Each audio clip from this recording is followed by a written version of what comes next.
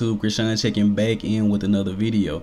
If you haven't done so already guys, be sure to subscribe to the channel and drop a like on this video.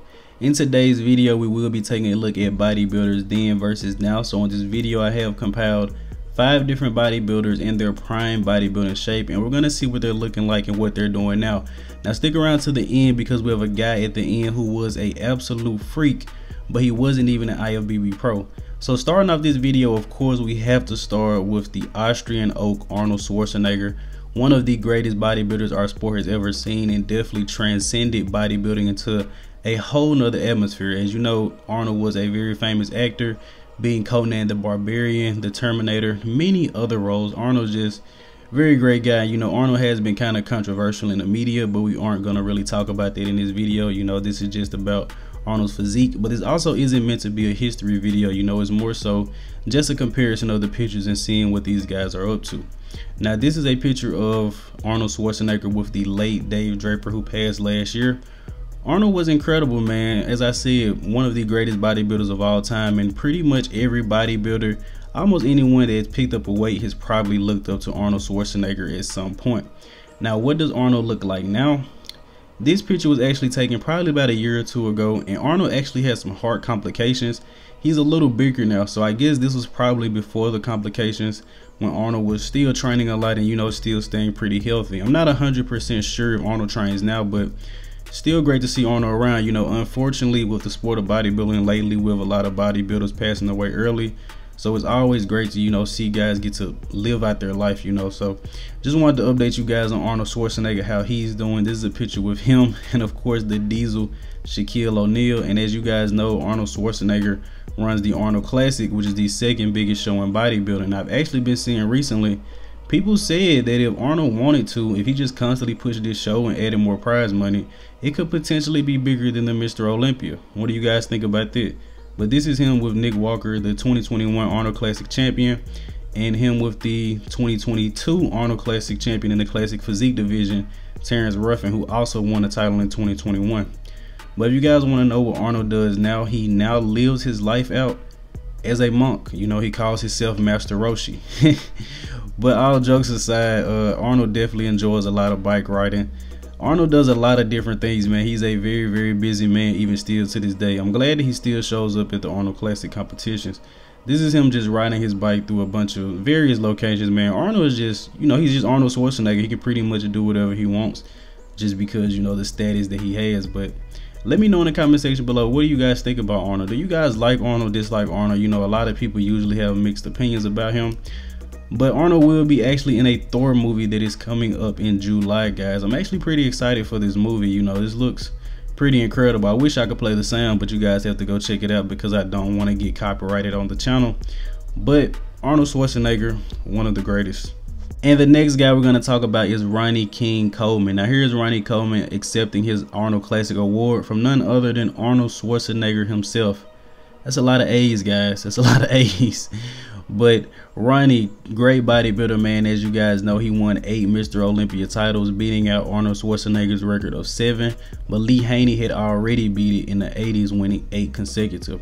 Ronnie, one of the greatest bodybuilders of all time, one of the strongest bodybuilders of all time. Actually, Ronnie is the greatest bodybuilder of all time. You know, I'll probably have Phil Heath or Dorian Yates second to him.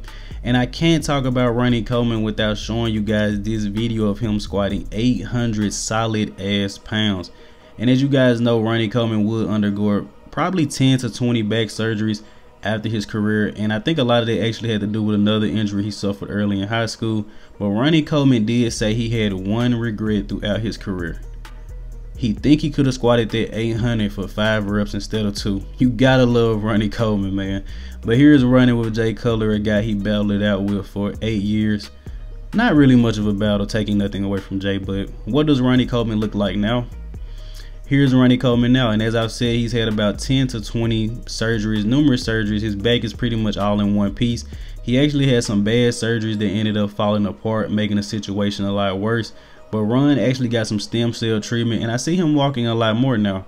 So this is actually a guest posing from when Ronnie Coleman was 50 years old. He's a bit older than that now, but just wanted to share here, guys. You know, it isn't the best, but he's still a legend, still gets a lot of respect. And Ronnie Coleman is still training now. I mean, he loves it. Yeah, buddy. Lightweight, ain't nothing but a peanut. You can't stop Ronnie Coleman, man. And Ronnie Coleman is still a motivation to us all. To this day, I still watch Ronnie Coleman for motivation. So it's pretty much an update on what Ronnie Coleman is up to now. Now, the next guy we're going to talk about is going to be Jay Cutler, man. One of the greatest of all time.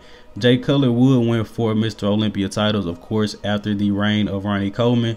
This is the Photoshop picture from 2009. I just had to share. It's so iconic, but it is a bit Photoshop, guys. So here's the original picture from the 2009 Mr. Olympia. And if you guys are wondering, was Jay better in 2001 or 2009? I've actually done it on the channel, so be sure to go check that out. Jay Cutler also won a host of Arnold Classic titles. I believe he won three or four a lot of people feel like Chris Cormier was robbed and he should have won at least one or two of those. A whole different argument for an entirely different video. Jay definitely an incredible bodybuilder, the best ambassador our sport has to this day. If you want somebody to speak on bodybuilding, it is gonna be Jay Cutler. Now Jay Cutler was able to hold that title until the Gift Phil Heath would hit the scene. 2011 Phil will win seven Olympia straight. And here's Jay Cutler in retirement with Ronnie Coleman. And this actually wasn't too long ago. I believe this was only about maybe about a month ago, guys. So Jay Cutler is actually noted as one of the guys who transitioned from bodybuilding the best. A lot of people say they want to look like Jay Cutler when they, you know, stop competing from bodybuilding, but they're just a testament of the genetics and you know the training as well. I'm not sure. I'm not sure Jay had many injuries. I've never really heard of Jay having injuries.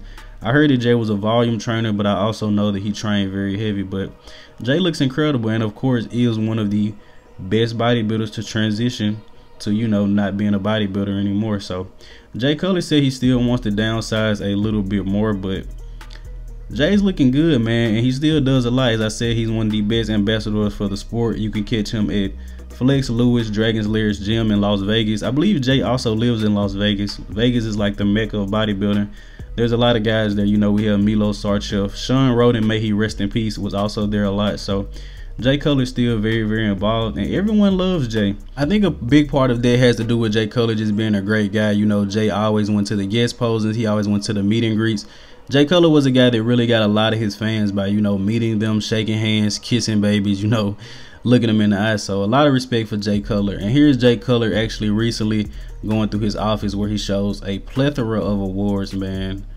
One of the greatest of all time, definitely top five. Even with winning four Olympia titles, you can arguable, arguably say that Jay Cutler is better than a couple of bodybuilders that won more Olympia titles than him. I'm not going to specify. You guys can argue about that. But here's Jay Cutler with his Arnold Classic titles, man one of the greatest and Jay Cutler is still inspiring to guys today. You know, guys are still looking up Jay Cutler, Ronnie Coleman, Arnold Schwarzenegger motivational videos every single day. Now transitioning into the next guy, we're going to talk about Markus Ruhl, And here he is with a off-season chubby cheeked Jay Cutler, man. Man, if you guys haven't done so already, be sure to like this video and subscribe to the channel. This is definitely a fun video to put together. But this is one of the most iconic pictures in bodybuilding to me. This is Markus Ruhl and Dennis Wolf. Two of the guys with two of the best delts of all time. But in this image, the delts of Markus Ruhl are just completely taking over the whole image, guys. And if you guys watch my recent Every Winner from New York Pro history, you guys will see that in the beginning I included a video of Markus Ruhl from the 2002 Night of Champions where he just looked freaky. But this is actually Markus Ruhl from about 1998, 1999. Actually looks pretty good here. This is when he was a bit smaller. And this was a little bit later in his career. This was probably in 2002. Look at the biceps. This guy was just next level. Truly, truly a freak of nature in the sport of bodybuilding. Huge shout out to Markus Ruhl. And here he is with Ronnie Coleman. These two guys are the two freakiest bodybuilders of all time. I'm pretty sure you can maybe add Paul Dillett into the, not as far as winning bodybuilding shows, because of course Ronnie Coleman would destroy them, but just overall freak factor.